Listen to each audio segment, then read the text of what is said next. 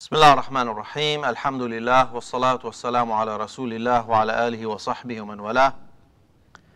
ما زلنا في الحديث عن الصدق. الصدق في القول والفعل أقوى للفرد وللجماعة.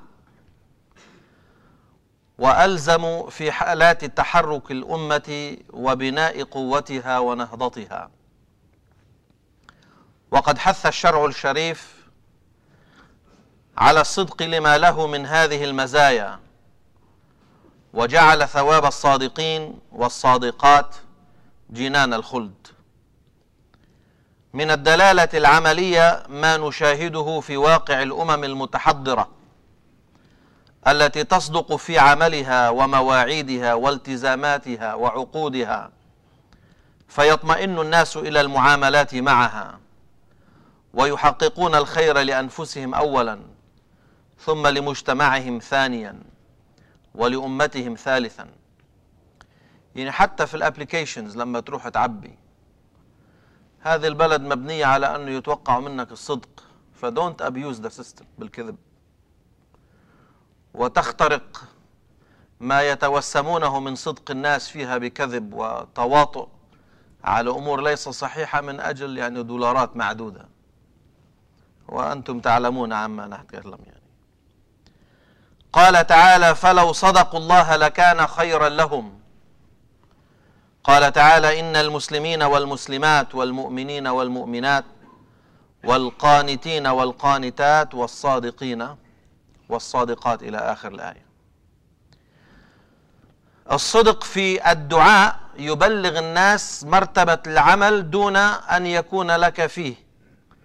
يعني إذا حجز بينك وبين العمل شيء بصدق الدعاء يبلغك الله أجر هذا العمل. قال صلى الله عليه وسلم والحديث رواه مسلم عن أبي ثابت سهل بن حنيف. قال قال صلى الله عليه وسلم من سأل الله تعالى الشهادة بصدق بلغه الله منازل الشهداء وإن مات على فراشه. بمجرد صدق النوايا. نختم ب موضوع الصدق الذي هو أصل المعاملات بين الناس. روى البخاري ومسلم عن أبي خالد حكيم بن حزام رضي الله عنه قال قال صلى الله عليه وسلم البيعان بالخيار ما لم يتفرقا جادلوا خذوا اعطوا هل قد طلعوا نزل. طالما أنت في نفس المجلس.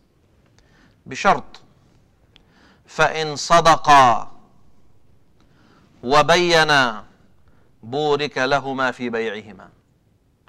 والله هذه السيارة ترى لك ال transmission فيها يمكن مضروب. مش بتروح بتجيب نوع من المبع شكله بتحطه مشان يبين transmission ممتاز وانت قاعد بتضرب في الناس. أو بتصلح شغله وبتترك نصها معطل مشان ترجع تصلحها مرة ثانية. أو وقيس.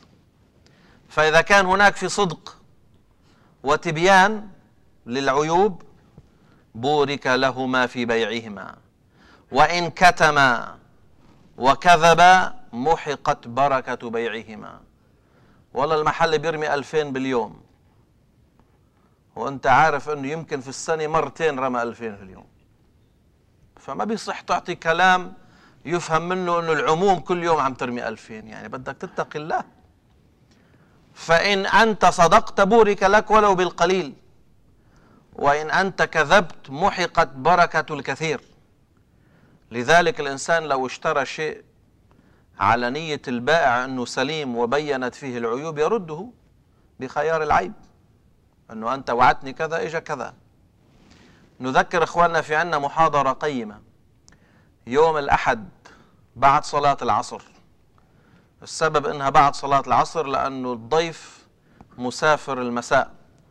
وهو ضيف يعني آه نتوسم أن يكون لكلامه الأثر الطيب إن شاء الله. الدكتور طارق رمضان أحد المفكرين المسلمين والمشهود لهم بتحليلات طيبة على مستوى الفكر والأمة.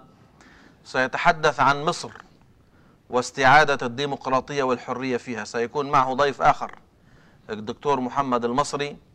ستكون من بعد صلاة العصر إن شاء الله تعالى مدة ساعة ساعة ونصف هكذا. في الطابق العلوي إن شاء الله تعالى فنتوقع وجودكم معنا إن شاء الله. أيضا توفي محمد عثمان حمد العزاء الليلة حتى العاشرة مساء وغدا من السادسة حتى العاشرة مساء في مركز الجالية التابع للمسجد. غفر الله له ولنا ولموتى المسلمين أجمعين. اللهم آمين. The hadith for today is about, so we're still talking about honesty. Honesty in that which you say or that which you do is more powerful for the individual or the groups. And it is what needed for people to stand up as individuals or groups. Allah subhanahu wa ta'ala spoke that if they were honest, it would have been better for them, better in everything. Because the way you talk, the way you act, the way you do business, everything has to be based on honesty. And if you choose to be fake, if you choose to lie, then there will be no path for you to get the mercy of Allah subhanahu wa ta'ala. Sincere and honest prayers, supplications, dua will earn you places of rewards of acts that you didn't even engage just because you wished for it sincerely.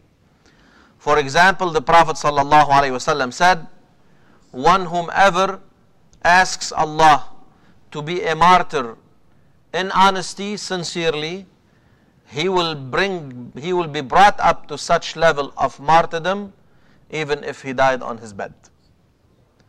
So that person did not engage in a battle and die like other martyrs would do, but just because he was sincere in his prayers, Allah will reward him as if he did. In business, it's very important. And if people were honest in business transactions, we don't have much time to spend with them in arbitration here in the masjid.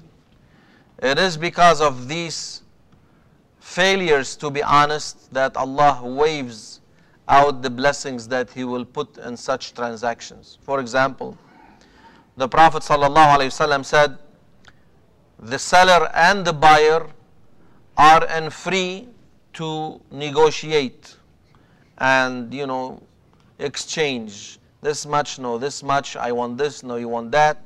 As long as you are in the place where the discussion is taking place. With a condition if they were honest and exposed whatever defects allah will put barakah in the transaction but if they were lying and they hid the defects of the merchandise Allah will take the barakah out from that transaction.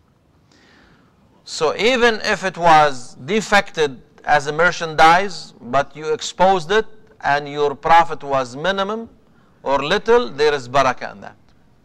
But if you did hide something and you sold it for more, Allah will take the barakah out from you. And we need to fear Allah subhanahu wa ta'ala. وصلى الله وبارك على نبي محمد وعلى اله وصحبه اجمعين